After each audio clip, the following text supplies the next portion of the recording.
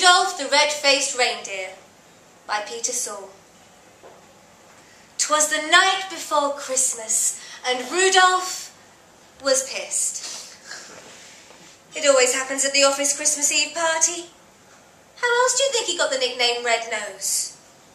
Reeling on his hind legs, staggering through the gaps between the cups on top of the mulled wine table, he conducted a choir of angels, snatching periodically at their halos and missing. Every time the angels drew their divine breath, Rudolph interjected with his own lyrics. It was on a starry night. when Rudolph had another shot. All the hills were bright, lit up by Rudolph's motherfucking nose. Ooh, ooh, motherfucking nose. Ooh, ooh, motherfucking nose. Lay sleeping, sleeping calm and still. Woo, woo, motherfucking nose. In a manger bed. Oi, dancer! Rudolph shouted as she passed beneath the clump of mistletoe, disdainfully clutching her Diet Coke in a paper cup. I'd like to take you back to my manger bed, if you know what I mean. He pursed his reindeer lips suggestively, pointing at the mistletoe. It was evident by the force with which she threw her drink the dancer did know what he meant. Rudolph slipped off the table, whacking his backside as he crashed to the floor.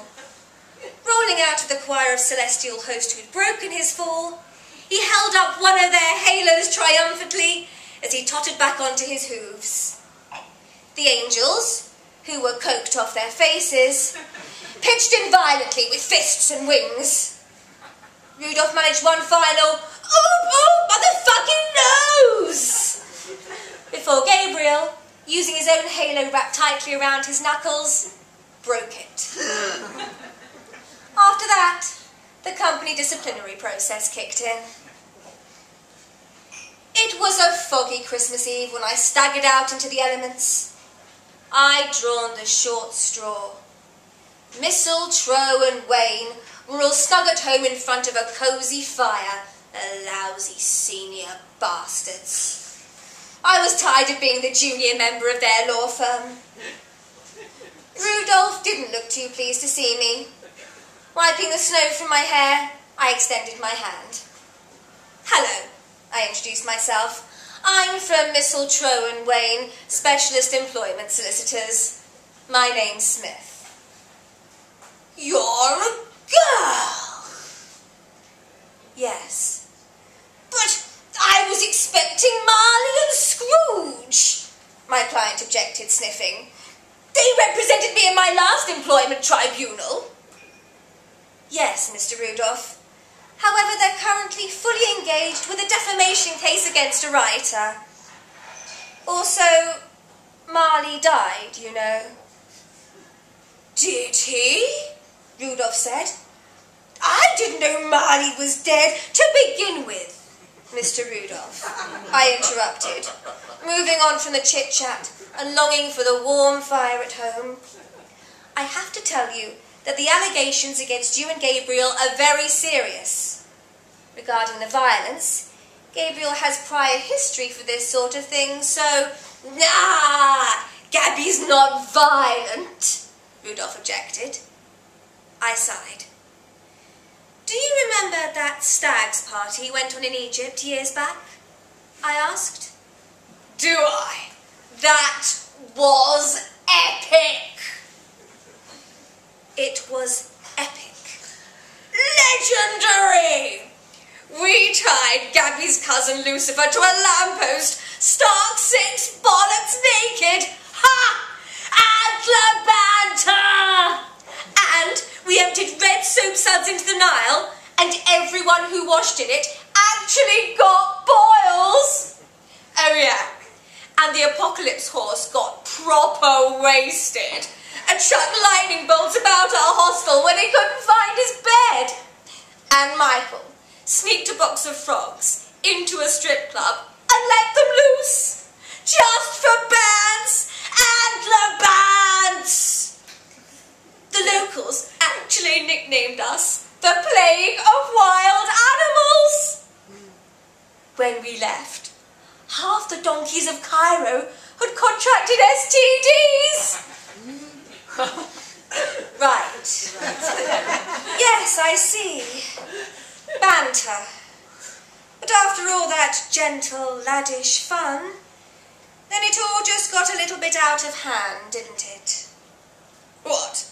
You mean Gabby threatening an Egyptian copper that he was going to kill every firstborn child? That was just banter! Legendary banter! You were all fortunate that you only got deported. Yeah, well, he shrugged. In any case, Mr. Rudolph, Gabriel's facing violent conduct, but you're accused of sexual harassment. That's what you should worry about. What? Sexual harassment? Who? Me, sweetheart. Me? I looked at him. Yes, I said firmly. Yes, Mr. Rudolph, you. I never sexually harassed no one, he shouted. What about Dancer? I asked. Dancer? Her? Never. Forty-two witnesses disagree. But that was just a bit of fun. I can't believe she's put in a grievance, the stupid, stuck-up little doe. Mr. Rudolph, given the nature of the allegation, I think that using sexist language like doe in front of the tribunal will only make it worse. It's just banter, he sulked. No one else ever complains. Just dancer, never dasher or prancer or vixen. They've all put in separate sexual harassment claims. Not all of them. Surely not Comet and Cupid and Donner and Blitzen as well. All of them, I insisted. Dasher and Dancer and Prancer and Vixen, Comet and Cupid and Donner and Blitzen. Shit, my client said, realising. I'm proper ratted, aren't I? And he was. Look, he said suddenly, this isn't fair, you know. It isn't? No, I'm the victim here. Actually, when I first started, all of the other reindeer used to laugh at me and call me names. like what? I asked, interested, tracing the word counterclaim in my notepad. Legally, if Rudolph was being victimized simply for who he was, then he was in a really strong position. I imagined a brown-nosed reindeer using vicious, bullying names like Rudolph the racially different reindeer, light bulb face, hydrant hooter, glow stick head, the mega muppet with the crimson conch, or something even worse. They called me obnoxious, Rudolph whined. Strike my last piece of legal advice. I drew a heavy line through the word counterclaim, sighing. Was there anything else, apart from laughing at you and calling you names? Yes, Rudolph shouted. They never used to let me play reindeer games either. reindeer games, I said. Like what? Antler wrestling? No, strip poker. I was always trying to get them to play strip never would. Stupid does. It ended up just being me and Lucifer, and he's never minded getting his kit off in public. I shook my head silently, looking from gold and tinselled wall to gold and tinselled wall of the side office that we were sitting in. I suspected that I wasn't the first person to have wanted to use it to throttle Rudolph. Mr. Rudolph, to be frank, I think you should just resign based on the evidence, there is no hope of you winning your case. And your personality doesn't exactly help you either. But it's Christmas, he objected. There's always hope, always chance for a miracle. Just you wait. So, we waited. Sure enough, one hour later, Rudolph was fired. I didn't recommend him to lodge an appeal. Most of the building turned out to watch as Rudolph and Gabriel were escorted from the igloo offices by polar bear security. They left with bad grace, that's Gabriel, Gabriel's harpy girlfriend, now ex, shouting vitriolic abuse after them. You'll never manage without me, Rudolph snarled back at the crowd as he left. No other creature is qualified to do my job, not at such short notice. There'll be no presents delivered this year, just crying children in front of hearths, you stupid bastards. Which, strictly speaking, wasn't true.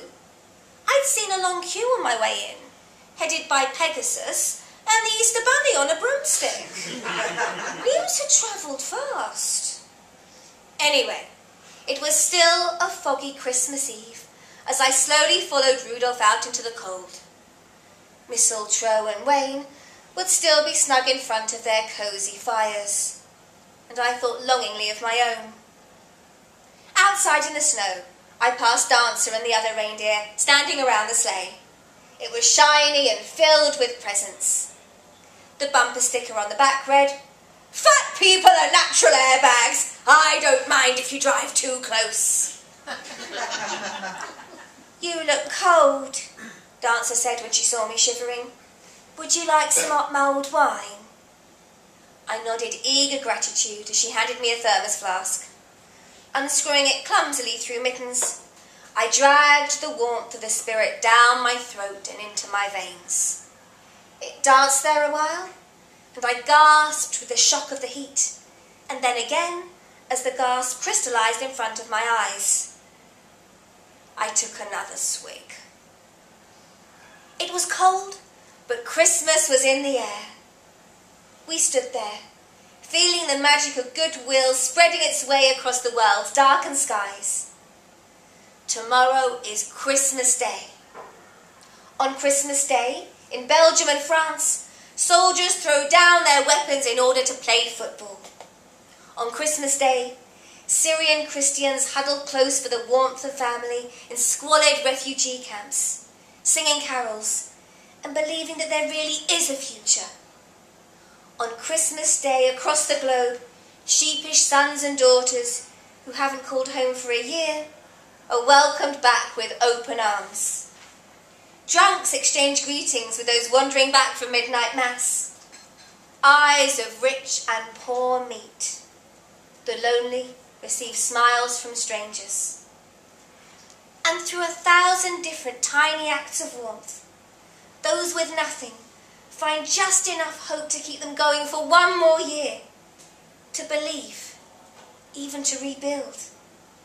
Amidst the laughter and nonsense of the season, there is poignancy, and there is hope, and there is humanity, regardless of race or even religion.